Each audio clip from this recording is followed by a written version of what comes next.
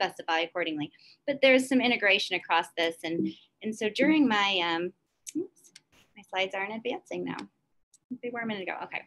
Um, the cancer control and prevention training that I've received, I really wanna make sure we cover this full um, spectrum because I'll talk about primary prevention, as well as um, studying or doing research in survivor populations where we're looking at secondary prevention, um, and then also using um, diagnostic capacities, for example, leveraging colonoscopies to understand how we can look at metabolites in colon tissue.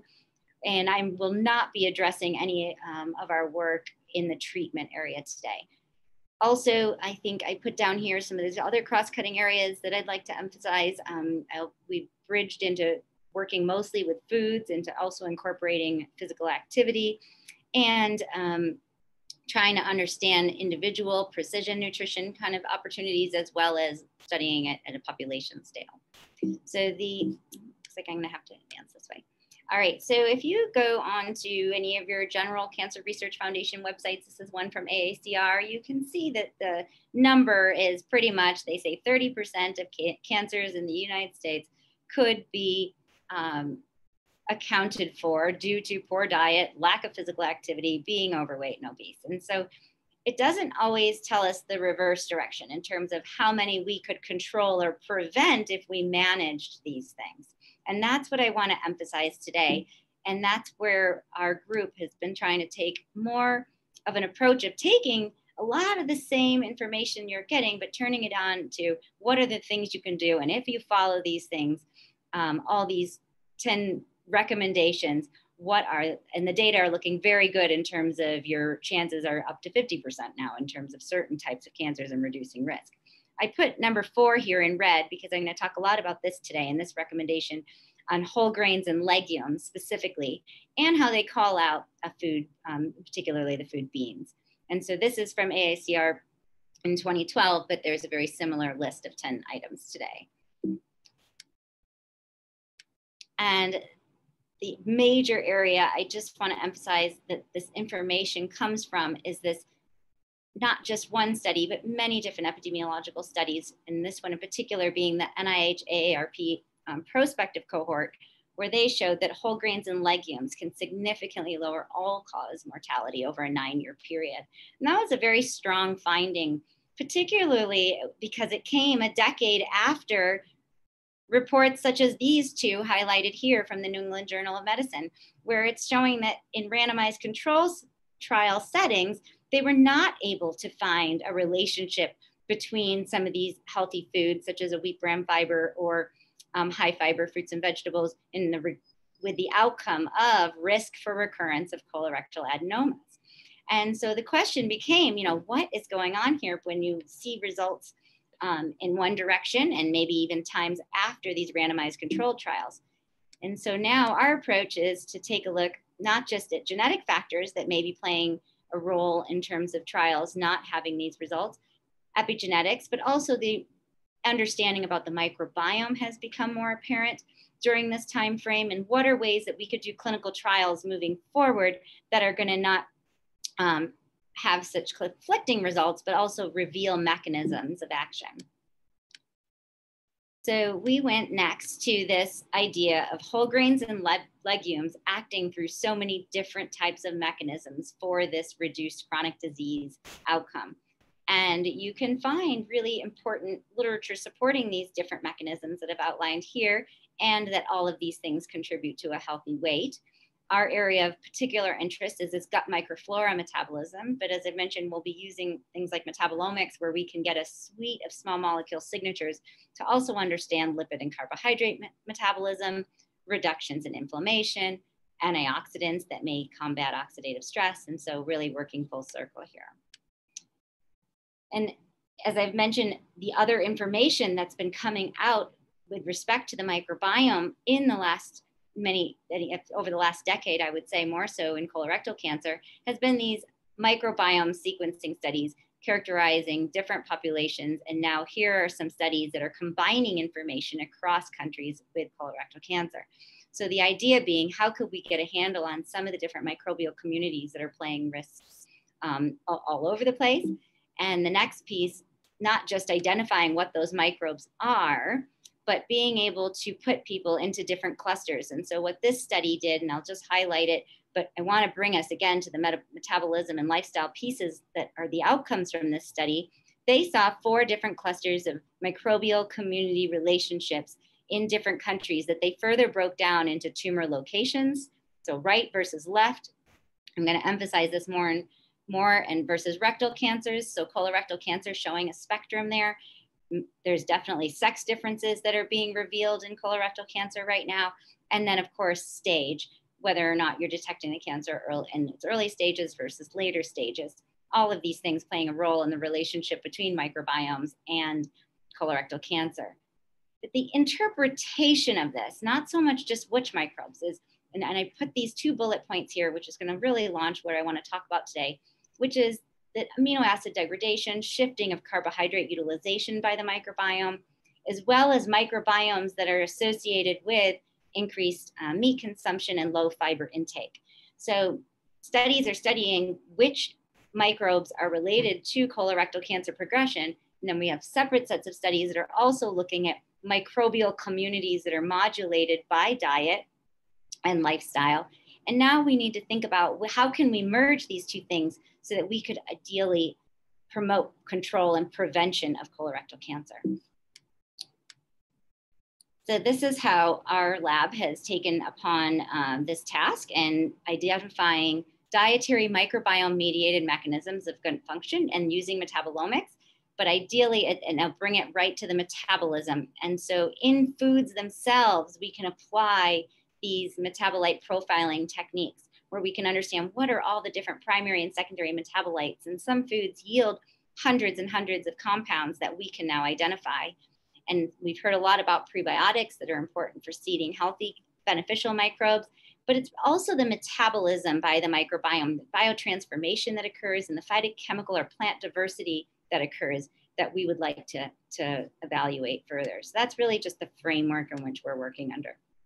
And so over the last decade or so here in northern Colorado, we've been able to do food interventions in children 8 to 12 years old that have uh, been flagged by our um, in their school systems as having elevated cholesterol. And so we were and, and met, work has been published for many of these. I'm going to move more towards work that's unpublished and that we're doing now but i want to set the stage that we have done a trial called benefit in cancer survivors with foods we've worked with um, our local surgeons here to collect colon tissue from surg- for surgery to apply metabolomics.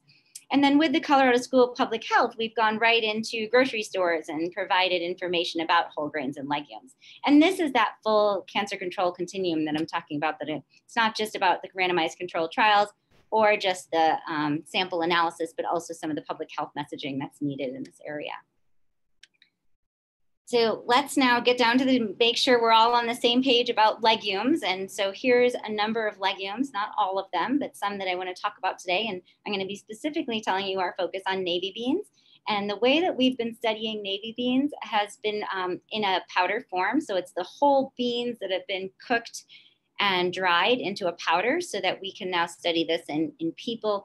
Um, so it doesn't change. We have all the composition of the beans the reason we've been emphasizing beans is again because it specifically was highlighted in some of the recommendations based on a number of studies that have come out. And our focus on beans is not just about feeding it yet, is we want to understand what's in them. And so here's an example of the amino acid profile analysis that comes from metabolite profiling or metabolomics.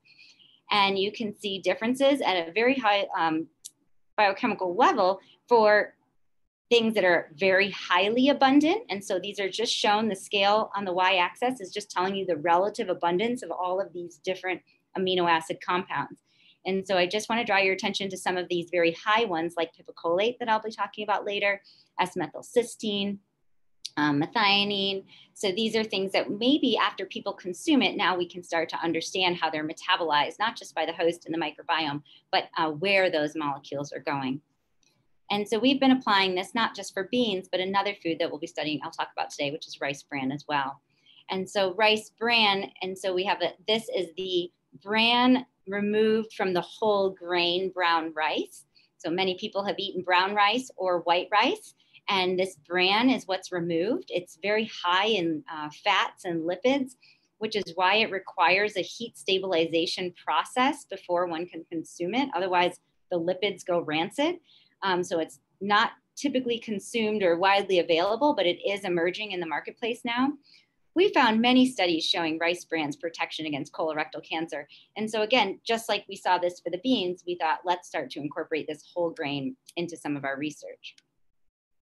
And I'm not going to go into the details of this, but similar to what we did with beans, where I just showed you the amino acids, this is the full metabolome. And so right here covers all the different lipids that we're able to ana analyze, as well as carbohydrates, vitamins, and cofactors. And, and we've published on the metabolome of rice bran um, already if you have interest in more details.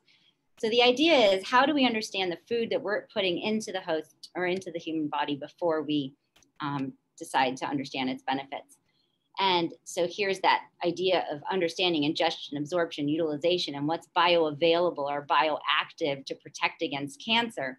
But it's this outer circle that um, it's been exciting to really leverage a lot of the experience and strengths at Colorado State University in this area because um, we have crop sciences, for example, that can understand the genetic differences between some of the different beans, maybe other meal components and their roles um, and this has also been in collaboration with our nutrition department to help design meals and foods and snacks. And we've also, I have a picture of the metabolic kitchen down at Anschutz as well.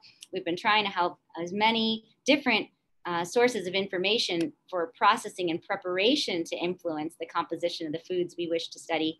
And then we've talked already how individual characteristics can sometimes influence how um, the outcomes of some of the clinical trials that are being done and epidemiological studies with these foods. So the first trial, as I mentioned, is benefit, and this was there's been multiple publications from this study already. It was really about demonstrating the feasibility of increasing navy bean and rice bran consumption in people. Again, we did not feel it was important to keep doing animal studies that are showing benefits of these foods until we had shown that people could eat them at those levels. And so that was the goal was to get people to eat levels that had shown protection in animal studies and then to look at microbiome and metabolite endpoints. And this was a short-term feedings trial. It was only done for one month, um, but again, at high levels of consumption for these two foods. And so I'll briefly go through and pretty quickly go through some of the results. But the big one, as many people can see when they want to change to a high fiber diet, is their GI symptoms, right? What are how much flatulence am i going to have? How are we going to you know handle this? This is what is a major barrier for why people don't increase fiber in their diet not so much that the access to the foods is not there. So we studied these two foods separately compared to a control diet. So as i mentioned a bean was made into a powder the rice bran is already a powder and we incorporated them into foods and we checked over a month period of time and there was no difference between our groups suggesting that a lot of the um, perceived conditions that people deal with are, are really just that perceived and that there was no difference for a group that did not have a higher fiber diet. Here are just some examples of the foods and snacks in which we are able to blind people and incorporate some of these foods um, without changing too much of the um, caloric content. And so I'll tell you how we've expanded this for our, our current studies. And so briefly, as we've shown already there are changes in microbiomes. Individuals with different microbiomes may have uh, different community changes. And this is just in two and four weeks that we can start measuring some of these changes. And importantly, in the stool, it's not so much just about the microbes that are there, but we're able to see metabolites from, for example, the rice bran. And so we know that they're from the rice bran, may be modified with changes from metabolism um, because we've done the analysis of the bran itself prior to the consumption. And while we're very interested in looking at stool and the gut, we also wanted to look in plasma and urine. And this goes to that multi-matrix metabolite analysis strategy. And so this paper um, showed, and we wanted to not just look at one class of compounds that come from rice bran, but for example, and this is an, an of 10 people in each group, were 10 control participants who ate those meals and snacks 10 participants, individual, and these were all colorectal cancer survivors who ate rice bran in those foods, saw an increase in the number of metabolites in the plasma and the change in the profile of these the, com- the chemical classes for these compounds. Similarly, we saw in the urine differences between our control group and our rice bran group for the number of metabolites across chemical classes. And then we go into detail about what those changes are in these papers. But the big question, as you can imagine, by many of the colorectal cancer survivors that have participated in our study is, well, did one month of eating rice bran do anything for me? Or is it just about you being able to understand the dynamics of how rice bran's working? Um, did I receive any benefit? It's a big question that we were asked after this from just this one month. And of course, the big one, how do I continue to do this? And that's where we struggled a little bit because, again, our foods and snacks were things that we made and provided. And um, bean powder and rice bran are not widely available in the way that we provided them. But we decided that before we went into that more public health direction of, of how people can continue these diets, we wanted to ask some more mechanistic questions. And so this is um, the first one was, is there any colon cancer protection from the gut microbiota of those people after they ate one month? Um, of, I'm going to separate out rice bran for these studies just for the sake of simplicity in our understanding. And then did the metabolic changes in the human stool, plasma, and urine have any importance to that individual's colorectal cancer control um, continuum that they're on? And then here is the research question, and this is a uh, multi-PI R01 with Komal Raina and part of some of the collaborations that we've had at in the University of Colorado Cancer Center. And now we've asked, would fecal transformation into germ-free mice from those individuals that consumed rice bran be protective? And our hypothesis um, is for that study that in fact, we think that the human stool microbiomes after you eat rice bran could have um, efficacy. So this um, was completed also in collaboration with, whoops, where it went. Okay, um, with Dr. Kristine Kuhn at the um, Anschutz campus in the Gnotobiotic facility, where we took samples, and I'm going to show you results from one of the female colorectal cancer survivors in our study who had a substantial increase in her fiber intake. Um, and we uh, used her stool samples and did a fecal microtransplantation or transfonation into the germ-free mice. And then we assessed their fecal samples. And of course, we looked at colon lesions and wanted to see what, um, what would happen. And in this individual, we did in fact find that her stool sample at the beginning of the study and her stool sample at the end of the intervention did in fact result in a reduction in the number of colon lesion, tumor lesions in that mouse after one month. So just the microbiome itself. We did not continue to feed rice bran in this study. What I'm showing up here in this top panel, and this work is um, currently under review, is that the baseline, her baseline stool and her intervention stool, before we put it into the animal, you can see that there's very little differences between them. It's the same person. We don't, eating rice bran for a month won't massively shift your microbiome. Actually, the composition doesn't shift very much. It's the metabolism of it that does. And then what we're showing here is the mouse cecum, distal colon, and proximal colon in triangles and then circles after 13 weeks of consumption and that you can continue to see that that one individual's baseline and intervention continued to separate in the animal. And now we're evaluating what the role is of those microbes in this protective effect um, on the colon lesions. So we were excited to see this and find out what are all of those taxa involved and how are they contributing to the metabolism in that individual. And so here is just another way you can take a look at a number of the different taxa that are changed between baseline and intervention of the adults that um, we're putting now into the animal model. And so I'm going to pick a couple of family level taxa um, to show you changes in the animal model over time from this human transformation. And so we're, as you can see, we have one, three different animal lines. There's six lines here, three that receive the baseline, three animals that receive the intervention. And now we're tracking this Lachnospiraceae family over time in that fecal sample. And you can see that the intervention and the baseline, same individual, but different mice, are ending in a similar place. Then we went to do this with different taxa to understand the dynamics of them working. Again, remember, they're, they're not provided one at a time, they're provided as a community. And so for ruminococcus, um, this is another one where they started out different, but you can see in the animal over the time period, the baseline and the intervention actually ended up at the end of the study to be very similar, even though the dynamics over time in the host were the same. And it's, it's important to look at these different taxa for what they're doing metabolically in the animal over time and whether or not we want to associate them with protection or where they're having a role. Because maybe this taxa is having a role early on in colon carcinogenesis compared to later. And so I'll get a little bit more into detail on this.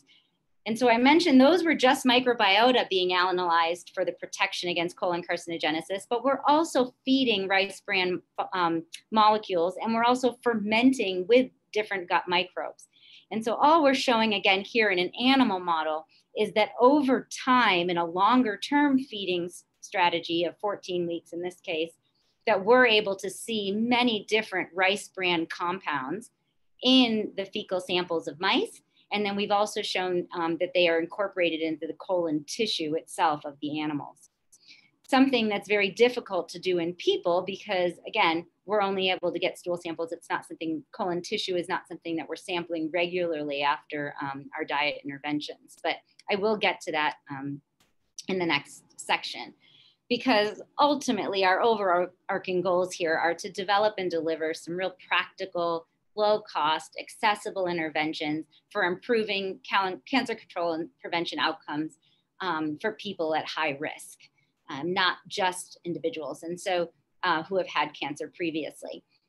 So the next trial, unlike the benefit study, we call it beneficial because one of the other critiques we received from our first trial was that we didn't take into account physical activity and maybe changes in metabolism that are occurring due to um, physical activity. And, and also during this time period, physical activity has been shown to be another important factor in protection against colon cancer. And we chose now to identify individuals who are at high risk according to having had um, two or more polyps removed, being stage zero, um, one or two classifications where they would not have undergone chemotherapy or radiation, maybe just surgical removal. Um, and then we also took a look at other risk factors. So the goal of this next trial, and this was um, thankfully supported by a pilot award from the University of Colorado Cancer Center and in collaboration with Dr. Heather Leach, who is um, faculty here in health and exercise science. And so we sought to really move forward with establishing signatures, multiple small molecules that are gut derived, gut directed, so that they could be used as for food exposure markers as well as having um, protective activities. And so I want to go into a little bit of detail about this study because it is our, the first time where we've worked towards um, pri- working on primary prevention, which is even more difficult. Many of these individuals were scheduled for a follow-up uh, colonoscopy in three and five years after their first one. And that was partly how we recruited from the clinics here. Um, we had the other important eligibility criteria that I'll emphasize today is just that we do recruit people without food allergies um, because, and that may, and people who are willing to wear an accelerometer in this case in the beginning and the end. Um, and also this time we decided to take the study for 12 weeks instead of four weeks to see if we could have, it's possible some people may benefit um, from longer term feeding. The other difference in this trial from our first study was that we included a fiber supplement control, which is a soluble corn um, fiber, and we used Fibersol-2. And so we did provide people with a sachet of, um, so both groups were increasing their fiber consumption. And as you can see here, some of our endpoints, um, we were collecting um, at the six weeks changes in the metabolome because we knew we saw things at two and four weeks. The question now is at six weeks and 12 weeks, are we able to still measure changes? And we also measured um, we have blood draws regularly through those individuals over time. And this study was completed last year, and I'm pleased to say will be um, coming out soon in terms of um, in integrative cancer therapies. So that was exciting to get be able to get at least the trial published. Um, but I will also be sharing a lot of unpublished data on the metabolomics and our findings from this trial. And so basically, as I showed you a series of foods that we did initially in our benefit, we expanded it now and we even include just the rice bran and bean powders themselves so that people could take those and incorporate them into their own diet instead of always needing to eat our study provided foods. And so you can see the difference between um, the control and intervention foods in terms of calories as well as fiber. And individuals were asked to eat at least two foods in one study packet every day for 12 weeks. And then um, we were also trying to make sure and find out we could monitor what their physical activity was during that time period or if there was any change during the courses of the study. And as we saw before in the when we studied the foods separately, now again, remember, we're combining rice bran and navy bean together because we think that we can enhance the effect, the protective effects that we're seeing from these foods separately. And right now, this line is showing you the line in animal models that if you achieve that percent intake, that you will that um, there was protective effects in the animals. So we want to make sure all of our people are getting above that threshold so that we can measure protective effect, the, the mechanisms for protective effects. And our control group has a very low background level of bean and rice bran consumption. Apologies for the manually. So when you want to take a look just at total fiber intakes of this cohort at the end of the study, and this is 21 individuals that we intervened in, and each dot in this is going to be one individual, you can see that we have a very uh, significant increase in fiber in both our groups, which is what we wanted to see. The intervention group being specifically from uh, rice bran and beans. And we did healthy eating index, which is being used uh, widely now. And we were able to not just improve the total score in all of our individuals, but specifically in our intervention group, the whole grain score. And we saw no differences between our groups and over time. We had a, a active population, and so we did, it was uh, exciting to be able to incorporate physical activity um, and all of our participants were meeting physical activity guidelines. All right, and so I'm not gonna belabor all the details here. I just wanna show you that we do look at a number of different nutrients pre and post in both groups over time. And one of the areas that we keep repeatedly seeing improvements in is vitamin B6. And so these B vitamins from rice bran seem to become available um, and a, a significant contribution at the doses that we are intervening. And this is something that we've also been excited and not surprised when we see reductions in cholesterol or LDL, or even we've seen in our children in our previous study improvements with beans and HDL. And so I'm not, I'm just showing some of the other panels here because uh, we do measure more than just the foods themselves. So I want to take us through now the multi-matrix metabolomics analysis from this trial. And this is all our pilot analysis in these individuals. And I'm selecting out some components to, to emphasize how the foods can be dually purposed as exposure marker, but also for protective effects. And so in the urine, for example, I highlighted pipecolate from the beans earlier. We can see that there is no change in our control group, but that we were able to get a significant increase in nearly all of our participants. Um, and a few of them will always not respond. It's possible for different reasons. S-methylcysteine being another example of a compound that we know is in our foods and similarly for methoxyphenyl sulfate uh, being derived from our food. So our intervention and being able to measure a metabolite marker from your intervention has been an um, exciting success from this pilot study that we hope to expand now into a larger study. I'm also switching now to plasma. So that was urine. Some of these similar molecules um, that we can also see changing at six and 12 weeks. Um, in addition to some of the molecules that I've highlighted here, we also are looking at unknowns that don't have names because it's possible some of these may be important markers. For example, this 18 fold difference of these very high fold changes that we're seeing. And um, we're excited to advance maybe some NMR and some other strategies to start identifying these unknown compounds. And so again, you can just take a look at it as a whole group in a fold change or fold difference manner over time. But we also do like to look at individuals and maybe understand, I'm highlighting down here, the individuals that are not changing. So the responders and non-responders possibly to our intervention is what we're really trying to get a feel for. And based on these results in 20 individuals, um, we are finding that we need to go up to close to 100 individual, individuals for our uh, next study, 75 to 100 to be able to measure these same things. And so I went to plasma, urine, and now we're in stool, okay, which is um, all extremely important to us also in looking at different compounds that are changing in our control group versus our intervention group over time.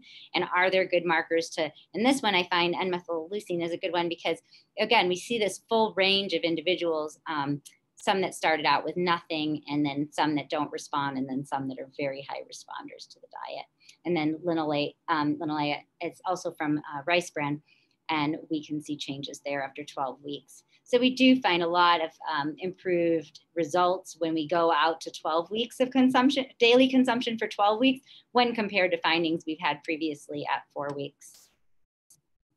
Now, you probably, I haven't said short chain fatty acids yet, but this is the one thing when you think about colonic inflammation that uh, we're repeatedly asked, what about short chain fatty acids? Why aren't you seeing increases or changes in your short chain fatty acids? Well, in stool, as we can all know, it's very difficult to only measure short chain fatty acid differences. We don't see any changes in these over 12 weeks in stool. I'm hopeful they're being produced and utilized by the colon and reducing the inflammation in these individuals. So these are things we can do in the animal models over time and see changes, but we don't see them necessarily in our interventions um, in the stool. Now, that goes back to why we want to get to being able to understand changes occurring in human colon tissue now. Um, and that's the next direction uh, that I'll be taking us to. Um, but to summarize, I just want to, before I go too far into the next colon tissue section, is I just want to say, look, you know, we've been really trying to understand compounds in the foods, their ability to undergo all kinds of different metabolic changes. We're feeling pretty good. Oh, sorry, this is not there for plasma, about showing plasma, urine, and stool, and many of these different compounds um, changing in these matrices. But where we really want to go is to understand how these foods are influencing the colon tissue. And so we next also not just the colon tissue anywhere, but the right side and the left side. So the ascending and descending colon tumors right now are showing to have differences with poorer prognosis on the right and different um, associations are emerging genetics as well as um, lifestyle factors. And so I'm not going to put a huge emphasis on all of that information, except for to say we wanted to go back and take a look at what does a healthy colon tissue look like on the right side versus the left side of healthy adults or adults at risk for colon cancer. And so what we did is worked with some of our gastroenterologists locally and we had a small cohort of normal weight, overweight, and obese adults that were undergoing routine colonoscopy. And then we started to um, collect them and apply them to metabolomics. And so I just want to, I'm giving you just a couple here. Um, there is a published report on this that I will reference, but you can see already that here's some lipids, okay, that we can see in normal weight individuals are different between the right and left colon, okay? And that when you become overweight or obese, that the differences between the right and left start to shift. Okay, they, they're no longer apparent. And so I, we're wondering if metabolism along colon um, shifts with weight and obesity, and understanding that shift is important. And using food molecules might be might be a strategy, as well as other metabolite signatures.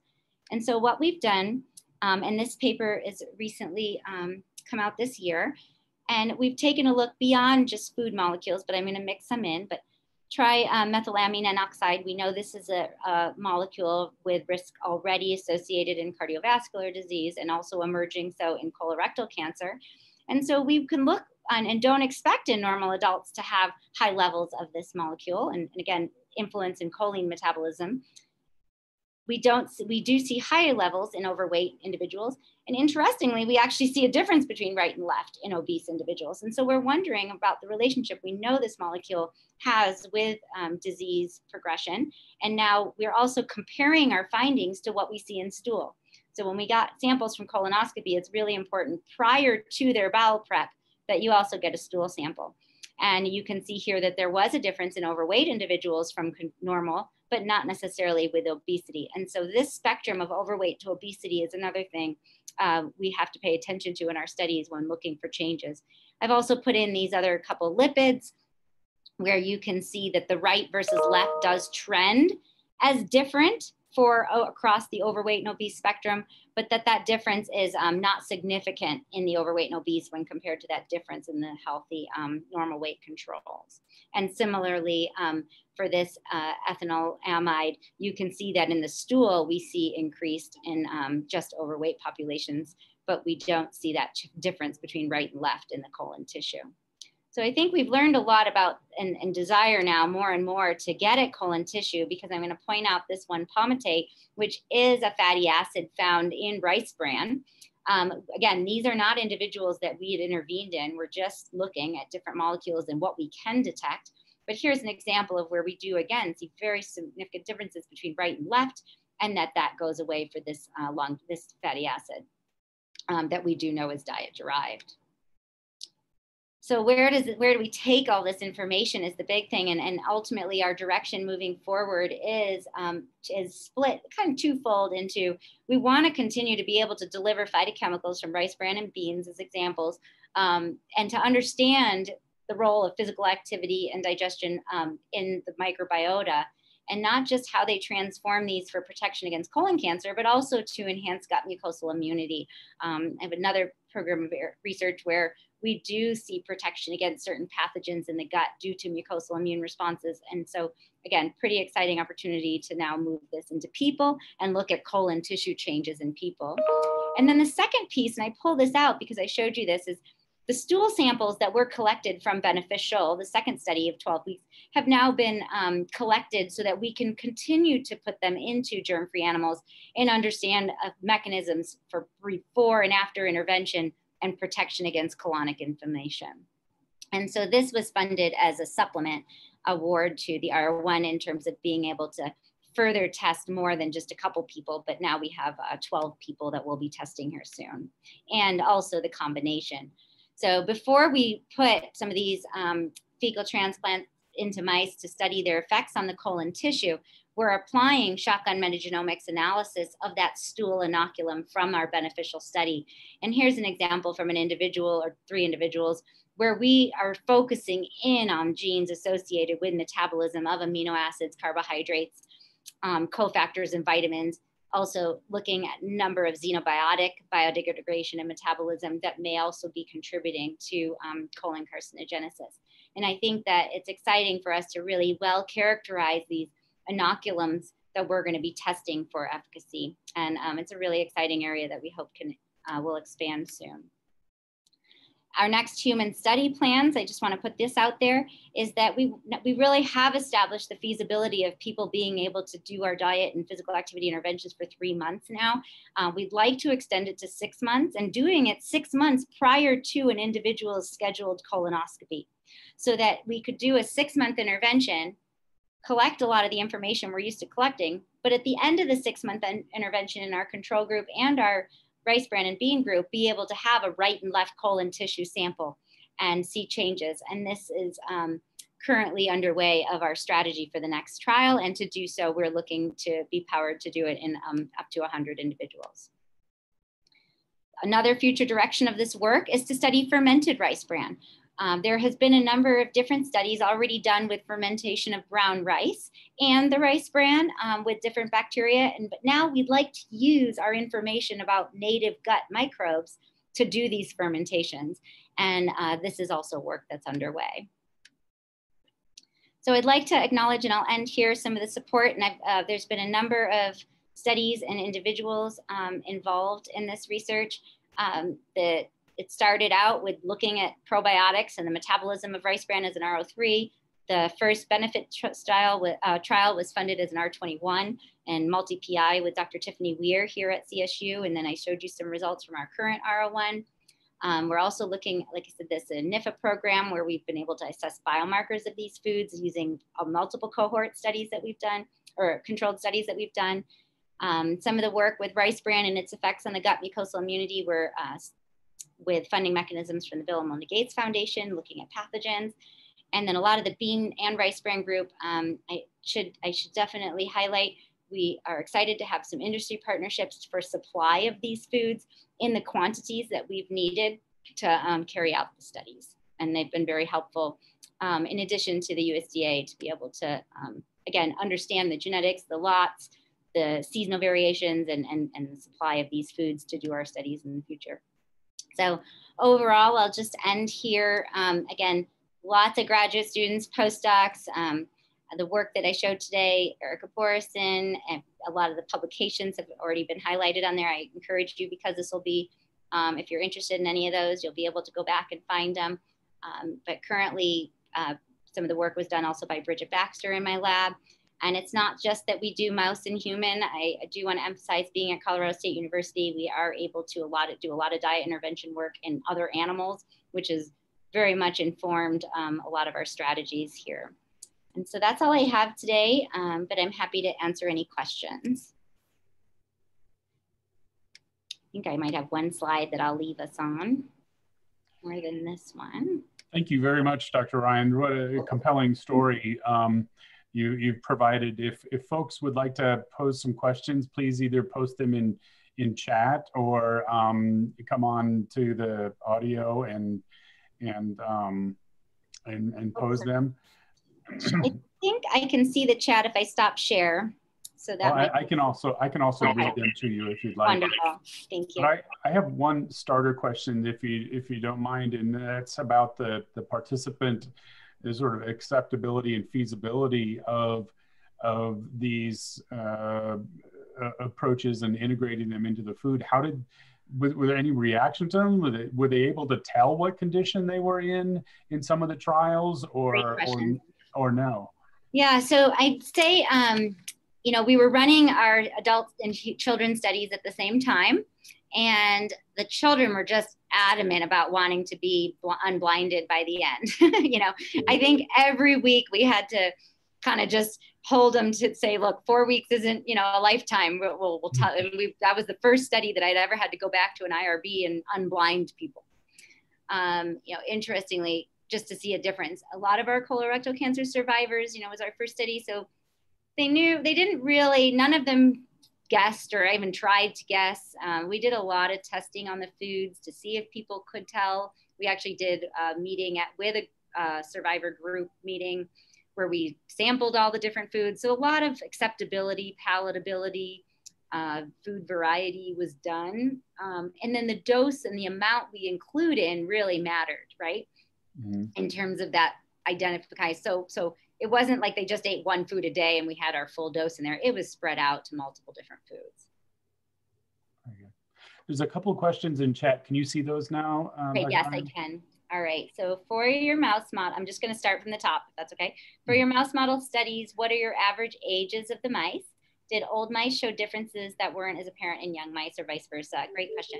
So the um, colon carcinogenesis studies are done with they're starting with young mice because we need to take them out so long. Um, so those studies in terms of, we haven't compared young versus old or started the AOM DSS um, in older mice. But again, that is an opportunity, something we could do. We, for our pathogen infections and these impacts of these foods on the microbiome, we do see a difference. So for the gut mucosal immune response to pathogen infections, we see that our rice bran has a higher efficacy in very young pigs as well as mice for protection against like diarrheal pathogens when compared to older mice. But uh, for the colorectal cancer, it's been uh, less investigated.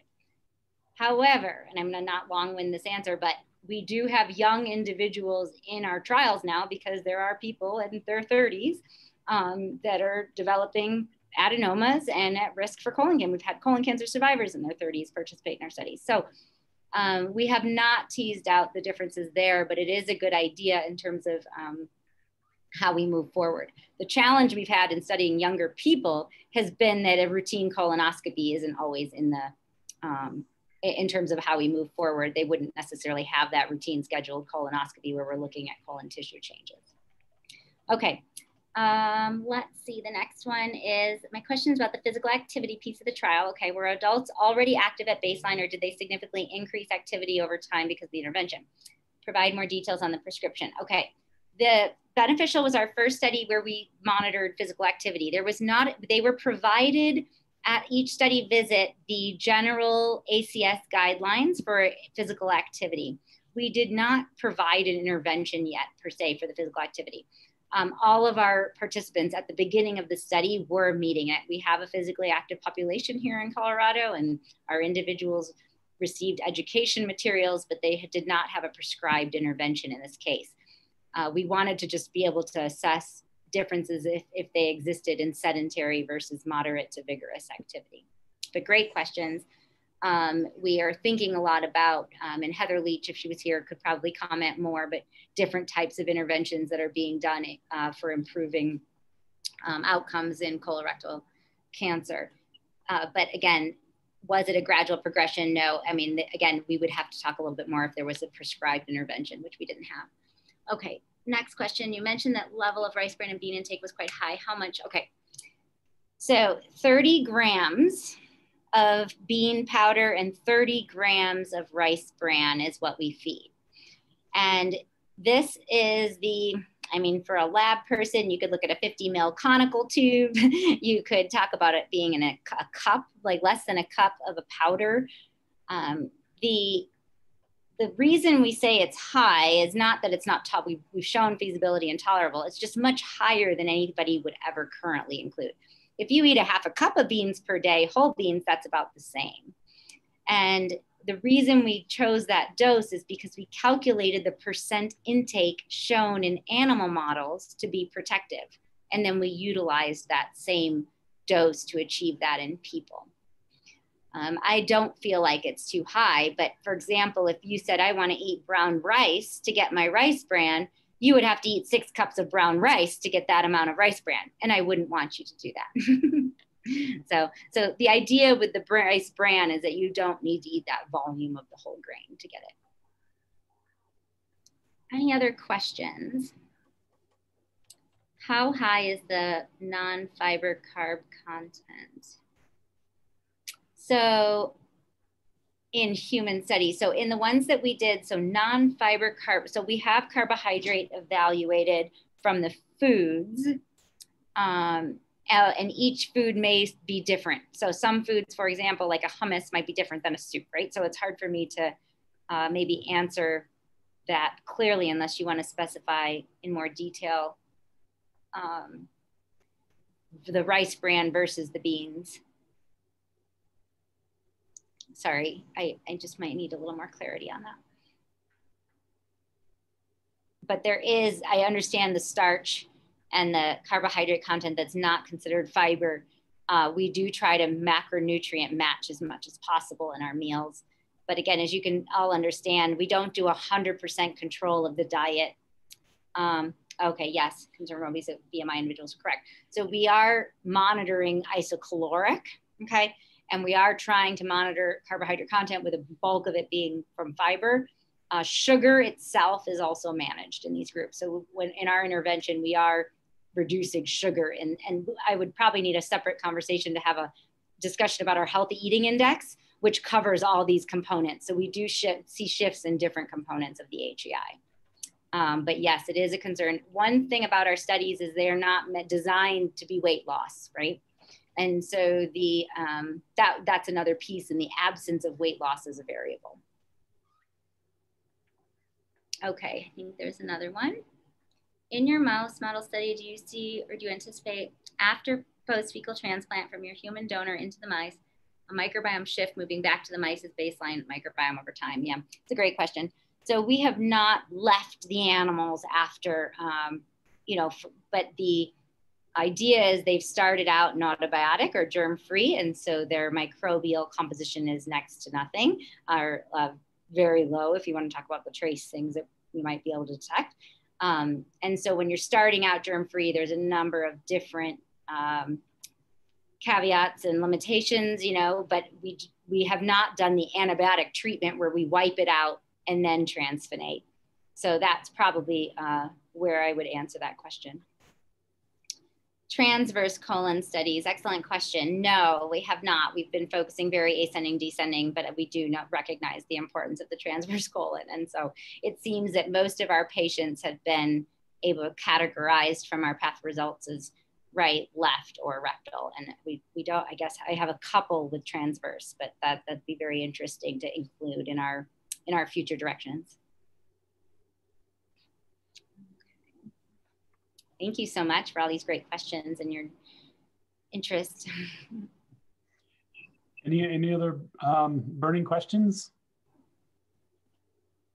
Well, thank you very much, Dr. Ryan. I really appreciate your time and, and um, uh, presentation and uh, really fascinating work and best wishes. Please let the Cancer perfect, please let Raj know how he can help you.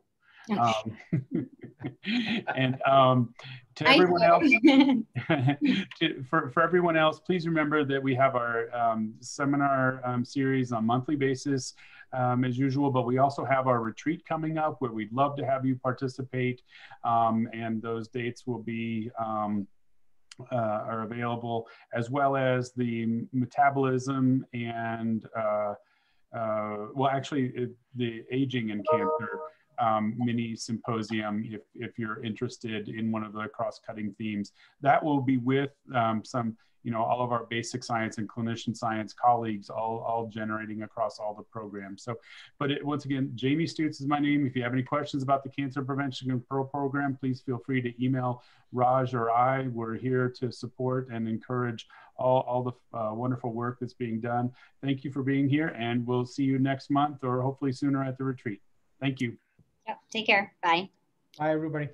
Bye. Thank you.